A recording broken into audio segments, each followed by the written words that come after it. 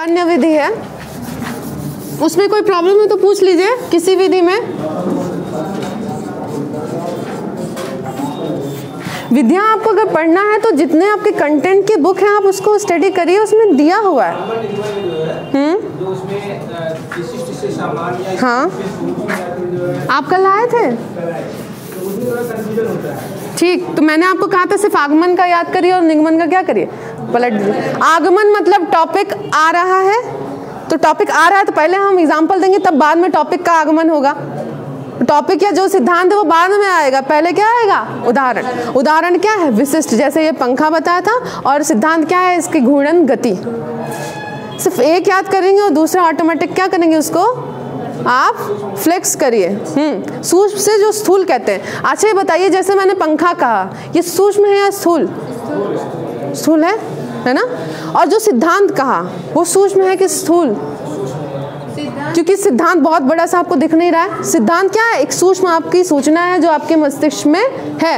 अर्थात हम कहा? जब उदाहरण पहले दिए तो क्या है? स्थूल से सूक्ष्म। एक ही एक लाइन पे आप सारे सूत्र फॉलो कर सकते। हैं यहाँ आपको एनालिसिस करनी हर चीज़ रटा, रटना नहीं है। समझना है। वही कह रही हूँ कहीं कहीं आपका आगमन विधि फेल हो जाएगा। जैसे आपको हिस्टोरिकल कोई पोर्शन पढ़ाना है, उसमें आपके पास एग्ज़ाम्पल नहीं है तो आप उसमें आगमन कहेंगे, आगमन बहुत अच्छी है। लेकिन आगमन कहीं अच्छी है, कहीं खराब, व्याख्यान कहीं अच्छी है, कहीं खराब। यही तो आपको एनालिसिस के लिए तो ये चीज़ बताई जा रही है कि कौन सी विधि कहाँ यूज़ करेंगे है ना? आप समझ में आए ठीक है? आगे जो आपकी विधि पढ़ेंगे, चलिए अभी एग्ज़ाम्पल दिया तो भ्रमण विधि पढ़ ही लीजिए।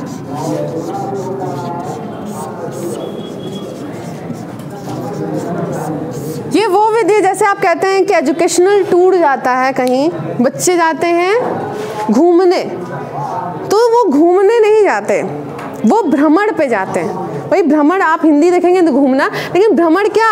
अवलोकन हेतु भ्रमण, या शिक्षा की सूचनाओं के एकत्रीकरण हेतु भ्रमण, तथ्यों के संकलन हेतु भ्रमण। देखिए पॉइंट समझिए, क्या है? तथ्य संकलन। जो आपने पढ़ा, उसकी खोज अगर आपको करनी है कि हाँ ये चीज़ है कि नहीं वास्तव में, जैसे कहा कि बहुत सुंदर है आपका ताजमहल, सफ़ेद संगमरमर से बना हुआ है। तो आपने फ़ोटो देखी तो आप जान रहे हैं, लेकिन मान लीजिए बच्चा है, उसने नहीं देखा। आप उसको जब ले जाएँगे वहाँ तो क्या करेगा? वो एनालिसिस करेगा कि इसमें और सफ़ेद चौक में क्या अंतर है? जो तथ्य है, उसका आप संकलन करते हैं, जाके खुद डाटा का कलेक्शन करते हैं। स्वयं से। फिर सत्य की परख।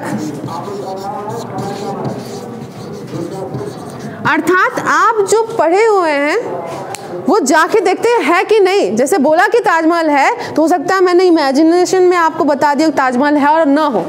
लेकिन जब वहाँ बालक जाएगा तो खुद ही जानेगा कि ताजमहल वास्तव में है। ठीक? फिर हम कहें कि यहाँ की सबसे सुंदर इमारत है। आपको पता है आपका अजूबा भी है दुनिया का? तो हो सकता है बच्चा क्या न मानेगा, अरे वो खिलौने में तो नहीं सुंदर लगता। लेकिन जब वहाँ जाएगा तो क्या करेगा? वास्तव में क्या करेगा? सत्य की परख करेगा कि जो आपने कहा था वो चीज़ सही है कि नहीं? तो कहा जाए, इसमें जो प्रक्रिया होती है वो क्या होती है? अवलोकन की। आप क्या करते हैं? ऑब्जर्वेशन। खुद से। जैसे इसमें आपका जो ये विधि है, ये आपकी संरचित भी होती है और असंरचित भी होती है। संरचित मतलब पहले से आप प्लानिंग करते हैं, है ना? ये चीज़ करेंगे, ऐसे आप क्या करेंगे? इतने लोग जाएँगे टूर पे, इनके घर वालों को क्या करेंगे? परमिशन लेंगे, इतने दिन से इतने दिन तक रहेंगे। ट्रैवलिंग इनके जिम्मे, ठीक? खाने में क्या रहेगा, कब रहेगा, कैसे रहेगा, ठीक? कब, किस दिन, कहाँ जाना है? ये ऐसे आपको बस ऐसे दिख रहा है भ्रमण। जैसा कि आप एजुकेशनल टूर की बात करेंगे, जो कई दिन का भी जाता है, एक दिन का भी जाता है। जैसे आप जनरली उस जगह पे लेके जाए जैसे कहें कि यहाँ की जो ऐतिहासिक इमारत है, वो क्या है? आपका जौनपुर का जो किला है। या आपका शाही पुल है। तो हो सकता है बच्चा गया भी हो तो उसने कभी ध्यान ना दिया हो। क्योंकि उससे सुंदर सुंदर लाइटिंग लगा के हर जगह लोग रात में गया, दिन में गया, कोई इसको ये नहीं बताता कि हमारा ऐतिहासिक स्थल है। है ना? तो आपने यहाँ बताया। फिर बच्चा जब वहाँ जाएगा, ये सोच के कि ये ऐतिहासिक स्थल है तो उसकी फीलिंग भी दूसरी रहेगी। उसके बारे में वो क्या करेगा? ऑब्जर्वेशन करेगा, ऐसा क्या है इसमें? इसकी बनावट कैसी है? क्यों ये जौनपुर के जितने ऐतिहासिक स्थल है, उसमें इसका नाम? है ना? तो वो खुद इससे क्या करेगा? डाटा कलेक्ट करेगा। खुद से वो तथ्यों का संकलन करता है। जो चीज़ें उसने सुनी सूचना रूप में आ, जाके खुद क्या करता है? ऑब्जर्वेशन करता है। पहला अगर तुरंत कहीं भ्रमण पे लगे तो। दूसरा जो आपका एजुकेशनल टूर जाता है उसका भी पर्पज आपको क्या करना? आपको सूचना और ज्ञान प्रदान करना। ठीक? आप गए एजुकेशनल टूर पे तो सबसे पहले क्या करते हैं आप? नियोजन। यहाँ पे मैं भ्रमण विधि की बात करूँ तो कोई भी विधि हो, पहला स्टेप क्या होगा? आपका प्लानिंग करेंगे। चाहे वो कक्षा से पहले करें या कक्षा के बात करेंगे। इसीलिए तो ऐसे शब्द यूज़ होते हैं। आप मेरी लैब में ना भैया अपने खुद आंकलन करिए। कक्षा, हमेशा नियोजन कार्य से पहले होता है। ठीक है? तो आप इसका भी नियोजन करते हैं कि देखिए, कितने स्टूडेंट जाएँगे, कौन सी क्लास के जाएँगे, उनके साथ कौन कौन से टीचर जाएँगे, कौन से जो है आपके ऐसे स्टाफ है जो साथ में जैसे क्लर्क वगैरह हैं या चपरासी, वो कौन कौन जाएगा? घर से परमिशन लेनी, वो आपकी प्रक्रिया एक हफ़्ते पहले शुरू हो जाती है। फ़ीस कितनी लेनी है? ट्रैवलिंग एजेंसी कौन होगी? भोजन की व्यवस्था कौन करेगा? है ना? कौन कौन से स्थल पे किस किस दिन जाना है? क्या उस दिन वो चीज़ खुली रहती कि नहीं? ऐसा भी कई चीज़ होता है कि हाँ इतनी टाइमिंग में बंद है। ये बहुत बड़ी ज़िम्मेदारी होती है। और ये एक सिखाने की, एक शिक्षण की क्या होती है? विधि। यहाँ मैं एजुकेशनल टूर की बात कर रही हूँ। भ्रमण तो आप शॉर्ट में जानते हैं। जैसे भ्रमण ऐसे भी आज गए, आपने सुना, जाके वहाँ देखे, अवलोकन किया। ठीक? फिर आप क्या करेंगे? फिर जब वहाँ से परमिशन ग्रांटेड तो आप स्टूडेंट्स को ले जाएँगे। तो एक ज़िम्मेदारी रहती है। वहाँ टीचर एज ए गार्जियन रहता है। तो आप जाएँगे जगह जगह बताएँगे, ये देखिए, ये इमारत स्थल है, ऐसे है, वैसे इसका निर्माण। तो हर चीज़ बच्चा नहीं एब्जॉर्ब कर पाता, लेकिन कुछ चीज़ें उसके दिमाग में क्या प्रत्यक्ष अनुभव करता है ना, वो चीज़ सामने उसके रहती है। तो जो उसका ज्ञान रहेगा, कहीं अन्य किसी स्थल की बात होगी और उस स्थल की बात होगी तो बच्चा उस स्थल के बारे में विस्तृत बताएगा। क्योंकि वहाँ जाके क्या किया? प्रत्यक्ष वो अनुभव किया। तो इसलिए ये विधि भी एक मनोवैज्ञानिक और अच्छी विधि मानी जाती है। कमी क्या है? हम्म? समय अधिक लेगा और बस, और थोड़ा सा और आप विश्लेषण करिए। मैं पढ़ाऊँ पाइथागोरस का प्रमेय और कहूँ पाइथागोरस के घर जाके भ्रमण करके आइए, तब आपको प्रमेय पढ़ाऊँ। या आपको ले जाऊँ पाइथागोरस के घर? दिखाऊँ, ये कैसे थे, ऐसे थे ऐसे थे, तब आपको बताऊँ। कि ये इनकी थ्योरी है, ये इनका इक्वेशन क्या ये विधि यहाँ पे सही है?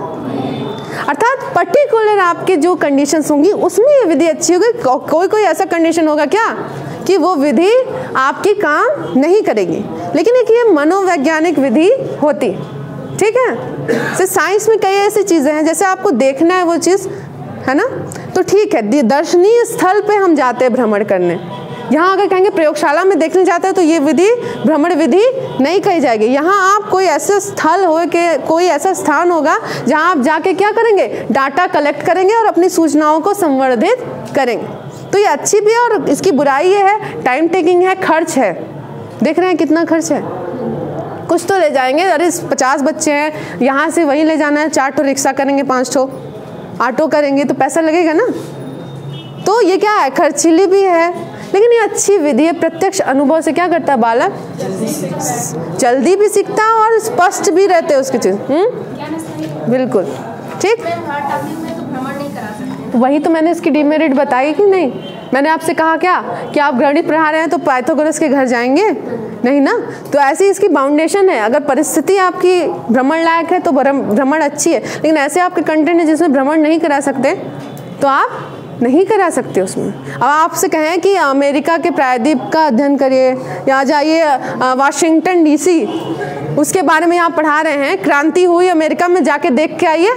हाँ देख के आ सकते हैं, वहाँ अभी कैसी स्थिति है। लेकिन अगर छोटे मोटे अध्ययन के लिए आप हर चीज़ के लिए अगर स्टूडेंट को भेज रहे हैं, ये टाइम टेकिंग है, बहुत ज़्यादा इसमें पैसे का भी लॉस है और ज़रूरी नहीं कि हर चीज़ क्या करें, भ्रमण से ही सीखें। कुछ चीज़ें आप उसको क्या करेंगे, यहाँ प्रोजेक्टर से उसको ऐसे इन्वामेंट में ला सकते तो ये अच्छी विधि है मनोवैज्ञानिक की लेकिन इसकी ये कमी है कि हर टॉपिक को भ्रमण विधि से नहीं पढ़ा सकते।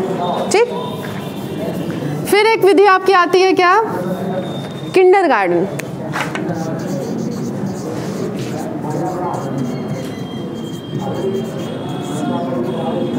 सुना है नाम इसका? नाम सुना तो आप जानते भी होंगे। हाँ किंडर गार्डन स्कूल में एडमिशन तो एडमिशन क्या होता है? बहुत जो छोटे बालक होते हैं, उनका एडमिशन ऐसे विद्यालय में किया जाता है जहाँ खेल की पूर्ण स्वतंत्रता, एकदम स्वतंत्रात्मक अनुशासन। मैंने आपको अनुशासन के तीन प्रकार बताए। है ना? क्या राजतांत्रिक, क्या निरंकुश, प्रजातांत्रिक और स्वतंत्र? तो एकदम स्वतंत्र अनुशासन देते हैं, लेकिन ऐसा नहीं कि आप विद्यालय से बाहर सड़क पे भागे जा रहे हैं। मतलब एक इन्वायरमेंट आपका बाउंडेड रहता है, लेकिन बालक को खुद से सीखने का, करके सीखने का, खेल द्वारा सीखने का इसमें पूर्ण अवसर दिया जाता इसको फ्रोबल ने दिया था। है ना? और इसकी सबसे बड़ी विशेषता यह है कि छोटे बालकों के लिए बहुत अच्छी विधि बालक खेल खेल में सीखता है। जैसे इसके जो इंस्ट्रूमेंट होते हैं आपने देखा होगा ऐसे यहाँ पे ऐसा होता है फिर यहाँ बी ऐसा होता है ठीक है? मान लीजिए इसमें इस, अंदर स्पेस है तो इसको जोड़ता है वो। तो पहले क्या करता है? खेल खेलने में क्या करता है? जोड़ना शुरू करता है। ऐसे नहीं रहते प्लास्टिक के आपके ए बी सी डी होते हैं ना? तो वो तो पहले उसके लिए खिलौना है। फिर जब वो सीखना शुरू कर देगा ए बी सी डी और पहचानना शुरू कर देगा तो ए के बाद बी लगाएगा बी के बाद सी लगाएगा सी के बाद डी लगाएगा। लेकिन पहले क्या किया? खेल से सीखा। ठीक? तो अर्थात पूर्ण स्वतंत्र जो लगभग मतलब एक तरह से कंट्रोल भी है और स्वतंत्र भी। बालक को एक स्वतंत्र माहौल दिया जाता है कि वो खेल द्वारा अपनी चीज़ों को क्या करे? डेवलप कर सके। एकदम स्वतंत्र अवस्था में बाल केंद्रित प्रक्रम में वो अधिगम कर सके। तो ऐसी विधि कौन सी है आपकी? क्या हुआ? पूछ लीजिए अगर कोई प्रॉब्लम है। ठीक है? अब इसी के बाद इसी सीक्वेंस में आती है मान तीसरी। ये बताइए क्या है? आप लोग ज़्यादा जानते हैं, इसलिए ज़्यादा आंसर देते हैं। बताइए। हाथ उठाया करिए। कौन बताएगा? मानतेश्री विधि क्या है? हाथ उठाइए, हम समझ जाएँगे। हाथ उठाइए। अरे उठाइए। वो दीपक क्या दूँ? भाषा सीखने के लिए।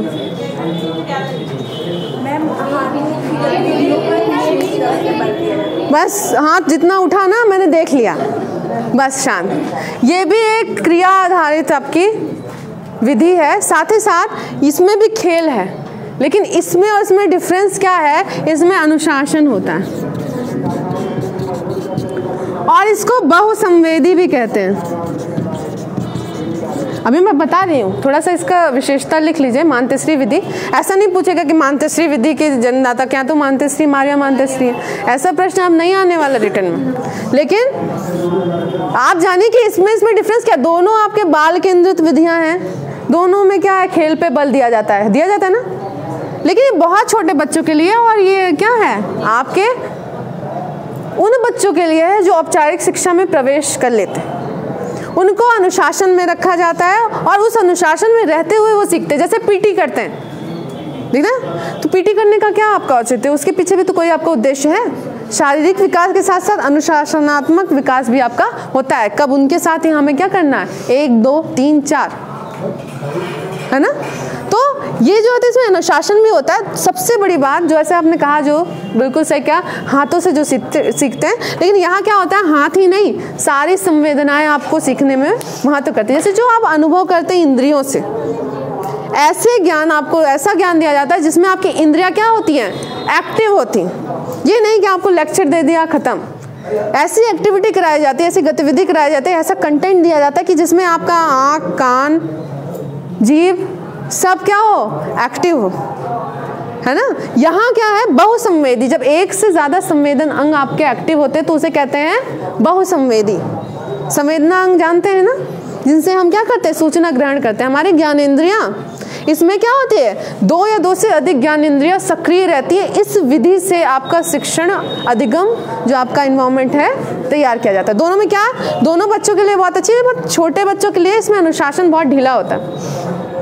और ये नहीं कि आप जो है पीजी लेवल का बच्चा है तो आप उसको किंडर गार्डन विधि से सिखा लेंगे आरंभिक ज्ञान देने के लिए आप उसको खेल के माध्यम से क्या करते हैं? सिखाते हैं। लेकिन उसके बाद जब आपको उसके पूर्णतः सर्वांगीण विकास करना है, जैसे सामाजिक, नैतिक, चारित्रिक, राष्ट्रीय, सारे अगर आपको उसमें करने हैं डेवलपमेंट तो क्या आपकी मानसिक विधि अपनाई जाती है, जिसमें आप संवेदना जो होती है, वो अपनी इंद्रियों द्वारा सारा ग्रहण करेंगे? ऐसा नहीं सिर्फ़ छुएँगे नहीं, इसमें भी है कि आपकी चीज़ों को क्या करते हैं, क्राफ्ट बना रहे हैं जैसे, है ना? तो उस चीज़ में इन्वॉल्व कर देंगे इसमें आप काम करेंगे तो क्या करेंगे? सीखेंगे। गतिविधि करेंगे। खेल की भी स्वतंत्रता है लेकिन अनुशासन इसमें रहता है। ठीक है? समझ में आया? एज आपका देखें मानतरसी स्कूल जो होते हैं जैसे आपका कॉन्वेंट चल रहे हैं ना वैसे आप जैसे अभी यहाँ बंद हो गया कोलकाता वगैरह में है? नहीं। देखिए अगर ये कहें आपके पूर्व प्रारंभिक शिक्षा तो अगर आप आर देखेंगे तो तीन वर्ष से स्टार्ट हो जाती है। है ना? तो तीन वर्ष के बाद जब तक आपकी पहली कक्षा में एंट्री ना हो जाए, अर्थात छः वर्ष, ठीक? अगर आप आर की सुनेंगे, लेकिन इसमें बच्चों क्या करते हैं? शुरू से भेज देते हैं। अगर बाउंडेशन होती तो क्या छोटे बच्चे, जो कामकाजी महिलाएँ, उनके लिए विधि, जो ये स्कूल होता है, बहुत अच्छा होता है। कि वो घर पे रह नहीं सकती तो क्या करती है? किंडर गार्डन स्कूल में डाल देती हैं। वहाँ वो बच्चों को देखभाल भी करेंगे, उनको सिखाएँगे भी, उनको खिलाएँगे, पिलाएँगे, सब कुछ करते हैं। है ना? तो बहुत छोटे बच्चों के लिए होता है।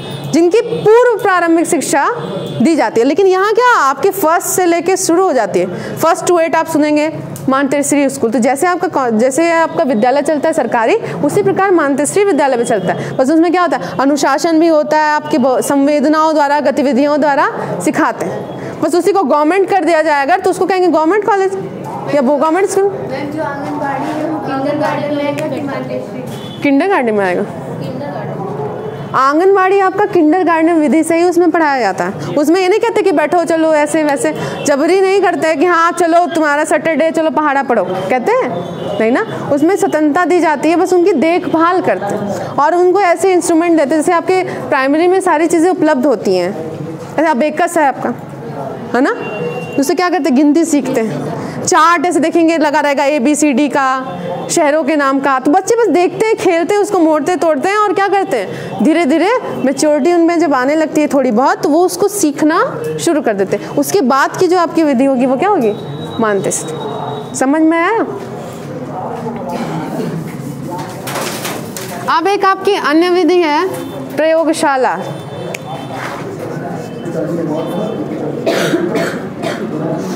नाम तो लिखते रहिए, जो कम से कम जो यहाँ पे हेडिंग लिख रहे हैं, वो लिख लिया करिए।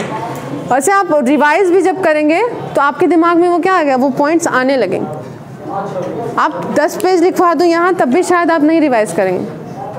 और दो पॉइंट लिखाओ तो आपको कम पड़ा रहता है। कम रहता है, लेकिन अगर आपने सच में उस चीज़ को कॉन्सेप्ट बैठाने की कोशिश की तो आपको रिवाइज करने में वही कहते हैं द्रुत वाचन। सार ग्रहण करते तो सार ही यहाँ पे लिखा हुआ है। ठीक है? तो आपका जो प्रयोगशाला विधि होती है, ये बहुत अच्छी विधि मानी जाती है। लेकिन उन विषयों के लिए जिसमें प्रयोग है तो कुछ हो, जैसे विज्ञान, गणित में भी होता है, गणित की भी प्रयोगशाला होती है। हिंदी अब कहेंगे हिंदी में क्या होती है? भाषा प्रयोगशाला सुना है? है ना? तो ऐसे विषय जिसमें आप प्रयोग कर सकते हैं और प्रयोग द्वारा सीख सकते हैं उस उस विषय के कंटेंट को आप प्रयोगशाला विधि से पढ़ा सकते हैं। इसकी अच्छाई ये है कि इसमें जो आप किताब में पढ़ते हैं उसको टेस्ट करते हैं कि ये चीज़ सही है कि नहीं। जैसे अगर आपको बताया गया कि एक आपको अ, इतना एमार्फस या जैसे पाउडर जैसा दिया जाता है ना? पाउडर मान लीजिए दिया गया। आपको उसको चेक करना है तो आप उसको टेस्ट ट्यूब में लिए, उसमें एसिड डाले, बुलबुला निकला। तो बुलबुला तो कहते हैं ये कार्बन डाइऑक्साइड निकल रहा है है ना? तो ये आपने किताब में उस एक समीकरण के रूप में पढ़ा होता है और वहाँ जाते हैं आप क्या करते हैं? प्रत्यक्ष चेक करते हैं कि हाँ वास्तव में ऐसा होता है कि नहीं। तो जो आपके किताबी ज्ञान या जो सूचनाएँ होती हैं, उनका परीक्षण कहाँ होता है? प्रयोगशाला में। लेकिन परीक्षण लायक वो विषय और वो कंटेंट होना चाहिए। ठीक है? तो जैसे आपका विज्ञान हुआ, इसकी भी क्या होती है? प्रयोगशाला होती। गणित हुआ, हिंदी में अगर कहेंगे लैंग्वेज है तो भाषा प्रयोगशाला आपकी। पूर्णतः नहीं, लेकिन लगभग क्या होती है वो एक प्रयोगशाला का माहौल ही क्रिएट करती है। लेकिन आप ये समझिए कि इसमें खासियत क्या और अन्य से कैसे भिन्न है। इसमें जो होता है, एक लैब होना चाहिए। क्या होगा? लैब लैब क्यों बंद किया? ओपन नहीं है। जैसे खेल विधि है आपकी पेस्टोलॉजी ने भी दिया है। ऐसे अभी आपने पढ़ा ना kindergarten Froebel Montessori Maria Montessori ऐसे आपके खेल विधि भी है, अगर पूछा है तो पेस्टोलॉजी ने भी खेल विधि को दिया हुआ है। लेकिन यहाँ देखिए इसमें क्या है आपका बंद कमरा इसको कहते हैं लैब।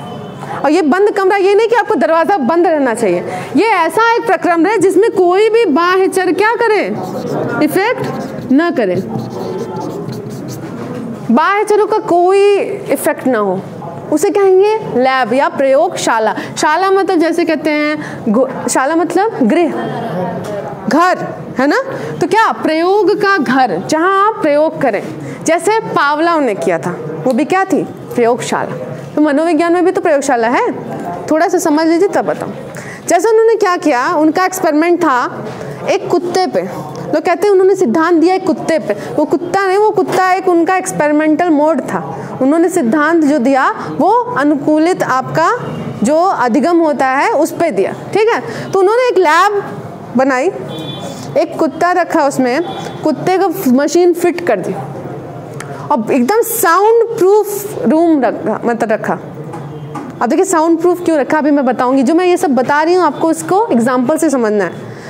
उन्होंने साउंड प्रूफ रूम रखा, कुत्ता रखा, कुत्ते में मशीन रखी, है ना, जिसे लार का काउंट करेंगे। अब जब वो कुत्ता भूखा था, है ना तो एक इंसान आया मतलब वो ऐसे था तो वो इंसान आता था। तो ये इन्होंने देखा पावलाव ने, पहले थोड़ी क्या कि घंटी बजाई, पहले कैसे एक्सपेरिमेंट किया, कि देखते थे जब उसके पैर की आहट आती थी जो खाना लेकर आता था। ये कुत्ते बहुत तेज पहचानते हैं, आपको पता है। जब पैर की आहट आती थी, तभी से उसके लार क्या होते थे? पहली बार नहीं, पहली बार कभी नहीं गिरा। लेकिन दूसरे, तीसरे, चौथे, जब खाना आता था तो उसके पैर पैर की आहट ठक ठक पड़ी और उसकी आहट वो पहचान जाता था। और वो उसकी लार क्या, थोड़ी बहुत गिरती थी। तो पावलाव ने देखा कि ये तो भोजन पे लार गिराना चाहिए इसको। और ये सुन रहा है कि आ रहा है भोजन, तभी क्या कर रहा है? लार गिरा। क्यों ना देखा जाए कोई ऐसी चीज़, कोई ऐसा कृत्रिम वातावरण क्रिएट करे कि उस पर भी क्या करे ये लार गिरा दे। तो उन्होंने जो दिया साउंड प्रूफ लैब लिया, ताकि बाहर की कोई आवाज़ इसके भीतर ना आए।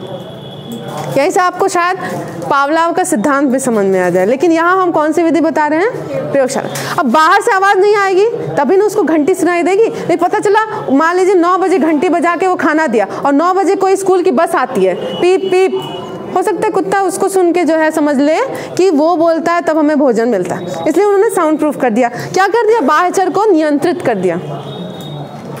अब जब देखा कि वो पैर के आवाज़ से जो है उसकी लार गिरती तो उन्होंने एक एक्सपेरिमेंट किया। घंटी बजाई, है ना? घंटी बजाई और फिर भोजन दिया। तो पहली बार में क्या घंटी पे उसने लार गिरा दी होगी? नहीं। फिर किया। फिर बजाएँ अब यहाँ देखिए थांडाइक का अभ्यास का नियम भी है। एक ही में। अब उसी चीज़ को समझिए। अब वो क्या किया कि धीरे धीरे जब वो जान गया कि घंटी बजती है, भोजन आता, घंटी बजती है, भोजन आता, अब घंटी थोड़ी भोजन है, लेकिन उसने एक लिंक बना लिया, घंटी और भोजन में। वो पहले ही बना था उसके पैरों के जो आहट थी और उस भोजन में उन्होंने कन्वर्ट करके क्या किया? घंटी और भोजन में एक संबंध बना दिया। जब घंटी बजती तो भोजन आता पहली बार, दूसरी बार। कुत्ता भी कंफ्यूज हुआ होगा। कुछ तो पता चले इतनी भूख लगी, कब आएगा खाना। फिर अब घंटी बजी, खाना है पहले दिन नहीं समझ में आएगा हाँ खाना खाए फिर नहीं समझ में आया। धीरे धीरे क्या हुआ? उसको समझ में आया कि जब घंटी बजती है, तभी भोजन आता है। तो जब घंटी बजे तो क्या करे? एक निश्चित समय में, अब देखिए यहाँ समय भी क्या है? नियंत्रित। अब ये नहीं कि घंटी बजाए दस मिनट बाद देंगे, घंटी बजाए पाँच मिनट बाद देंगे। यहाँ घंटी बजाए अगर दो मिनट बाद दे रहे हैं तो दो ही मिनट बाद देंगे। तो लगातार अगर ये आपने बनाया इसमें संबंध तो क्या हुआ? वो सीख गया कि जब घंटी बजेगी उसके इतने मतलब टाइम के बाद हमें भोजन मिलेगा। तो उसको लग रहा है कि हाँ भोजन आ रहा है। तो जैसे घंटी बजती, क्या होता? उसकी लार गिरने लगती।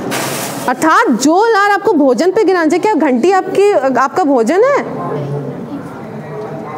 घंटी उद्दीपक भी नहीं था उस समय। उन्होंने उसको दीपक बना दिया।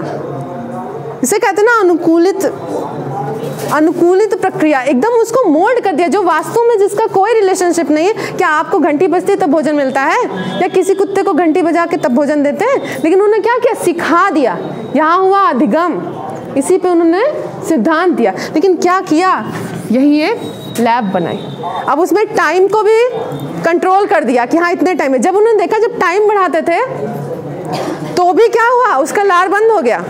वो उसको नहीं समझ में आता था ना कि 10 मिनट बाद मिलेगा, कि 20 मिनट बाद मिलेगा, कि तुरंत मिल जाएगा तो उसने घंटे पे प्रतिक्रिया देनी बंद कर दी। अर्थात समय भी नियंत्रित किया, बाहर से कोई आवाज़ भी नहीं आ रही है, हर चीज़ उन्होंने कंट्रोल कर लिया। अगर ऐसा प्रक्रम है आपका तो कौन सा प्रक्रम है आपका? प्रयोगशाला विधि। उन्होंने एक्सपेरिमेंट किया और कहाँ किया? प्रयोगशाला। आज समझ में आया? ऐसा आपका, ऐसा प्रक्रम जिसमें बाह्य चरों को एकदम पूर्णतः नियंत्रित कर दिया जाए और अपना एक्सपेरिमेंट प्रयोग किया जाए कि जो हमने किताबों में पढ़ा है वो सत्य है कि असत्य? ऐसे ही ना नई खोज होती है। लोग सिद्धांत देके गए तो कई सिद्धांत क्या होते हैं? गलत साबित हो जाते हैं। क्यों? बाद में उसको क्या करते हैं? जब वो प्रयोग करते करते सब उसी ढर्रे पे कहते हैं हाँ सही है। लेकिन कोई अच्छे से प्रयोग कर देता है, पता चलता है, ये तो है ही नहीं। इसमें कोई नया सिद्धांत है तो वो नई चीज़ इन्वेंट हो जाती है। तो ऐसी विधि से आपके नए ज्ञान या आविष्कार होते हैं। लेकिन यहाँ बच्चों को भी इस विधि से पढ़ाते हैं, ताकि वो चीज़ें जो वो प्रयोग कर मतलब जो किताबों में पढ़ा उसका प्रयोग आ वो कर सके। अब यार याद रखिएगा, अगर एक अच्छा एक का बच्चा तो आप प्रयोगशाला विधि से नहीं पढ़ाएँगे दो का नहीं पढ़ाएँगे। जब उसके थोड़ा मेच्योरिटी आ जाएगी, कक्षा तीन से थोड़ा बहुत स्टार्ट कर सकते हैं छोटी मोटी प्रयोगशाला थोड़ा थोड़ा नियंत्रण, कक्षा पाँच तक बच्चा सीख सकता है। लेकिन अगर कहें बहुत छोटे बच्चों पर तो ये विधि अच्छी नहीं होती। पहली चीज़। दूसरी चीज़ क्या? खर्चीली बहुत है। इंस्ट्रूमेंट नहीं होगा, प्रयोगशाला नहीं होगी तो कैसे प्रयोग करवाएँगे? फिर विशेषज्ञ चाहिए। हमें पता ही नहीं है कि इस मापने जैसे स्केल लिया, हमें पता ही नहीं कि सेंटीमीटर मिलीमीटर क्या है, कुछ नहीं।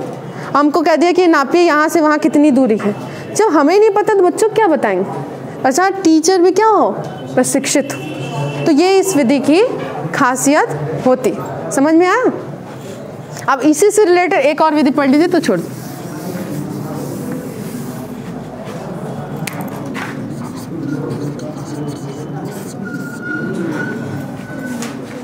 डाल्टन विधि। कुछ पूछना है तो पूछ लिया करिए।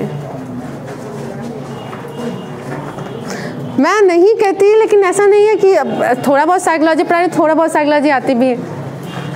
है ना? देखिए डाल्टन विधि जो होती है, उसमें भी एक चीज़ आप देखेंगे, उसमें कभी कभी कहता है कहीं कहीं कि प्रयोगशाला होती है। है ना? ये विधि है और यहाँ एक प्रयोगशाला है तो एक शाला। शाला क्या? एक रूम है। लेकिन इसमें ये नहीं कि ज्ञान को चेक करते हैं। यहाँ क्या करते हैं? जैसे आपका चार्ट रखा है मॉडल रखा है बुक्स रखी है, जैसे लाइब्रेरी कई प्रकार की बुक्स रखती है। आपको असाइनमेंट दिया जाता है। या कोई कार्य दिया जाता है कि आपको करना है। बालक खुद उस शाला में जाएगा और क्या करेगा? अपने ज्ञान के मुताबिक उन चीज़ों को कलेक्ट करेगा जो उसको चाहिए। जैसे वहाँ बहुत सारी आपकी बुक्स रखी होंगी साइंस मैथ हिंदी इंग्लिश तो अगर उसको हिंदी का असाइनमेंट करना है तो वो हिंदी वाली ना बुक लेगा? या बहुत सारे मॉडल है, जो उसको समझ में आएगा, वो ना करेगा? यहाँ भी एक प्रयोगशाला बनाई जाती है, लेकिन उसमें क्या होता है? प्रयोग नहीं करता। बस तथ्यों का चुनाव करता है। यहाँ क्या होता है? चुनाव करता है। कौन? स्टूडेंट और यहाँ क्या करता है? प्रयोग। ठीक? यहाँ कोई बाह्यचर नियंत्रण की बात नहीं है। जनरली अगर आपसे कहे कि आप पढ़िए, हमसे पढ़ लिए, अब जैसे आपने कहा कि हाँ कहाँ से पढ़े और तो मैंने आपको बता दी कि आप इस लाइब्रेरी में चले जाइए, या इस जगह चले जाइए, या टीडी कॉलेज में चले जाइए। आप यहाँ जाएँगे इस डिपार्टमेंट में तो आपको मटेरियल मिल जाएगा। तो आप वहाँ जाएँगे स्वयं, और क्या करेंगे? तथ्यों को खोजेंगे। मॉडल ढूंढेंगे चौक ढूंढेंगे चार्ट ढूंढेंगे ग्लोब ढूंढेंगे, जिस चीज़ का आपको अध्ययन करना है। वहाँ स्वयं स्वतंत्र रूप से क्या करेंगे आप? तथ्यों का चुनाव करेंगे, उसके परीक्षण का चुनाव करेंगे, फिर उसके बाद क्या करते हैं? इसमें फिर असाइनमेंट अपना कार्य कर लेते हैं। इसमें इसमें इतना ही मेजर डिफरेंस है कि ये एकदम कंट्रोल्ड होती है और कंट्रोल नहीं है। इसमें जैसे आपको लाइब्रेरी मान लीजिए दी गई, उसी प्रकार से एक लाइब्रेरी की तरह एग्जीबिशन लगा के दे दिया गया या एक रूम बना दिया गया जिसमें आपकी हर टीचिंग लर्निंग मटेरियल रहेगी। टीचिंग एड आपने पढ़ा हुआ है? हर टीचिंग एड उसमें रहेगी कि बालक खुद जाएगा और जो चीज़ उसको सर्च करनी है, जो चीज़ उसको देखनी है, वो वहाँ जाएगा और स्वतंत्र रूप से अपनी चीज़ों का चुनाव करेगा। और क्या करेगा? ज्ञान का परीक्षण करेगा। अपने से सीखना, यहाँ सीखना अपने से है और यहाँ हम बाउंड कर देते हैं कि आप करिए ही चेक करिए जो किताब में रखें। ठीक है?